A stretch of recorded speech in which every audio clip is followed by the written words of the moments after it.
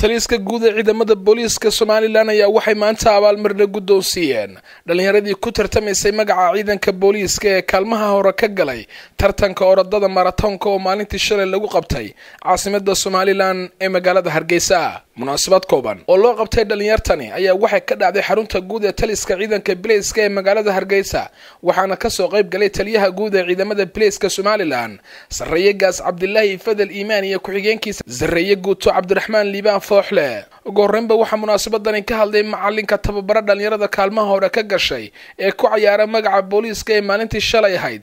Guusha ka soo hoyay orodka maratoonka ee lagu qabtay hargeysa waxa uuna ka waramay guulaha horta leh ay gaadheen iyo weliba sidoo kale meelaha ay hiigsanayaan. Runtii habeen oo dhanaagba heegan buu noo yahay dhinac kastaba. Yacni waxaana dhacday in moodarka ciyaartooyda kor u qaaday waana kooxda keliya ee atleticska ah ee orodada somaliland oo dhan waa kooxda keliya biliiska uunbaa hays ayaa ayaa leh.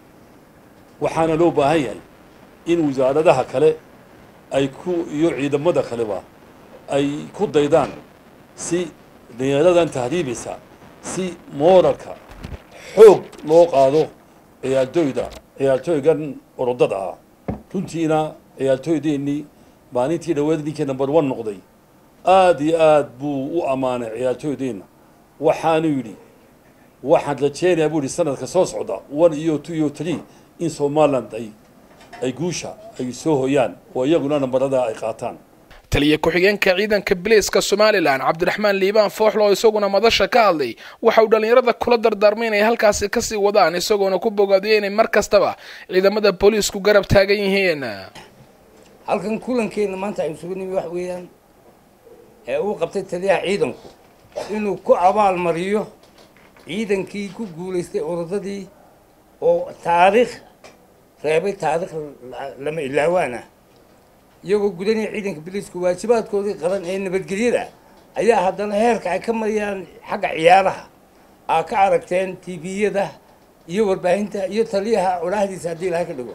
Gabagabadiina taliyaha guud ee ciidanka bileyska somalilan sarreeye gaas cabdilaahi fadel iimaan ayaa waxa uu sheegay inay wax lagu faano tahay arrintan oo kale isagoona sheegay in marka laga yimaado sugidda amniga oo ciidanka booliiska somalilan ay u xil saaran yihiin inay ka qayb qaataan horumarka kale ee dalka sida orodada oo ay guul ka soo hooyeen waxa uuna dhallinyaradani guddoonsiiyey abaalmarino.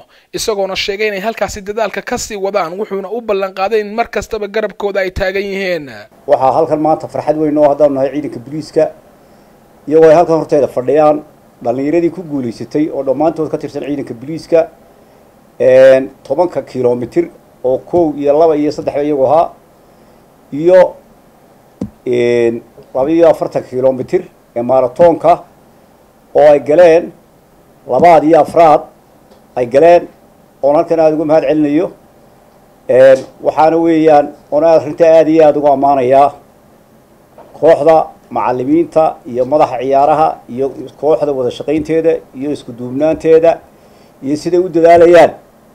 Arrintanna waxay ahayd waa ciyaaro caalamiay ahayd oona hore dalka uga dhicin waa guul somaliland u soo hoyatay waa guul uu ciidanka biliiska jumhuuriyadda somaliland ku faani karo waxa weeye biliisku had iyo jeer waxuma la dadkay siryadaani ciyaaraha inuu ku jiro owanka gallo. Shacabka ha ogaado. Abaalmarinta dhallinyaradan ayaa waxay ku soo beegmaysaa xilli maalintii shalay ahayd magaalada hargeysa uu ka dhacay tartanka orodada maratoonka ee labiiyo afartanka kilomitir iyo tobanka kilomitir oo ciidamada booliiska somalilan dhallinyarada u tartamaysay ay guulo horle ka soo hooyeen. Sakariya sudaysi telefishinka eryal hargeysa